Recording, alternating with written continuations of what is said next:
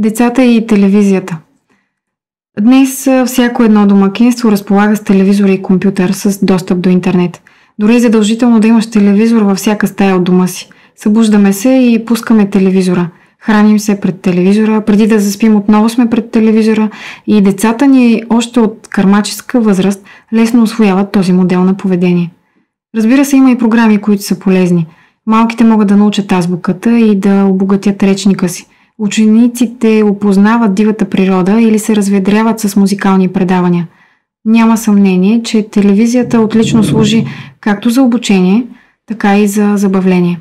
Въпреки предимствата, децата, прекарващи над 4 часа на ден пред телевизора, са предразположени към затластяване, към проблеми с вниманието, а също и към различни емоционални нарушения, проблеми с съня и други. Установено е, че първите две години от развитието са критични и изключително важни за мозъка. Така, например, гледането на телевизия намалява фронталната активност на мозъка в сравнение с слушането на приказка, която разказва майката и дори в сравнение с разглеждането на книжка с картинки.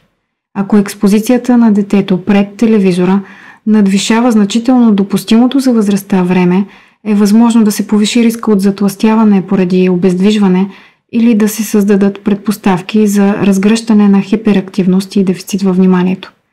Поведенческите проблеми, които могат да бъдат наблюдавани, най-често са агресивни реакции, а в последствие и социална изолация, както и намаляване на контакта с връзници.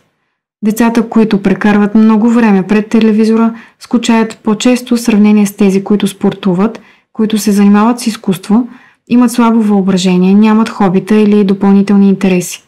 Ако гледането на телевизия е над 4 часа дневно, е възможно училищната успеваемост да е ниска и да се наблюдават различни обучителни затруднения.